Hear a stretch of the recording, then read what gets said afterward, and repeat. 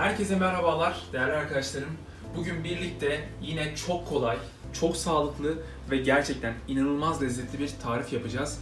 Mantar dolması yapacağız bugün birlikte. Tabii ki vegan bir tarif olacak yine her zaman olduğu gibi. Akşam ne hazırlayacağınızı bilemediğiniz bir günde hemen 5 dakika içerisinde çok kolay şekilde hazırlayabileceğiniz bir tarif gerçekten. Şimdi birlikte malzemelerimize bakalım ve tarifin yapılışına geçelim. Elimizde 10 tane kültür mantarımız var. Geçtiğimiz hafta yapmış olduğum vegan beyaz peynirim var. Burada 100 gram kadar. Bir tutam pul biberim var. Bir tutam dereotum var. 3-4 tane ceviz dilimledim buraya küçük küçük ufaladım. 5 tane çeri domatesim var. Malzemeler bu kadar basit. Şimdi burada görmüş olduğunuz 3 malzemeyi peynirle birleştirip bunları çatal yardımıyla iyice ezip birbirine karıştıracağım.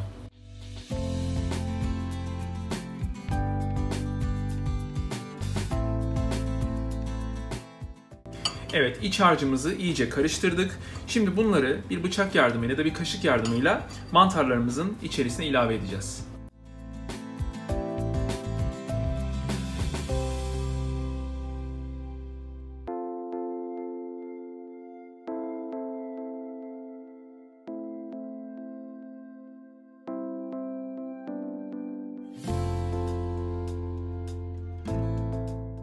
Mantarlarımız hazır. Gördüğünüz gibi çok güzel oldular. Şimdi buradaki domateslerimizi ikiye bölüp mantarlarımızın üzerini kapatacağız. Üzerine şapka yapacağız.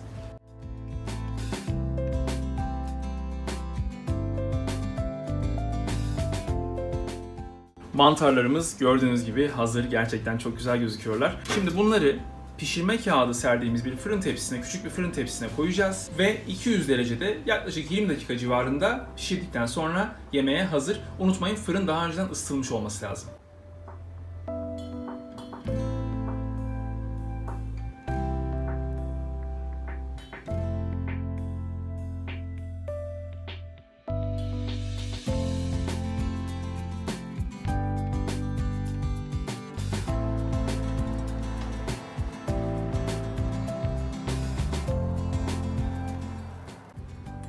Fırından çıkarttık. Mantar dolmalarımız gördüğünüz gibi harika bir şekilde hazır. Yarım saatte bu muhteşem menü hazırlandı. Çok kolay gerçekten. Şimdi bir tanesini keselim şöyle birlikte.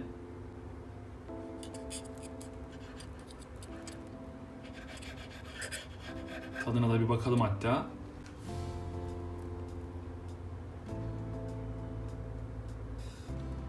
Dostlarım gerçekten inanılmaz lezzetli olmuş. Çok güzel bir tarif.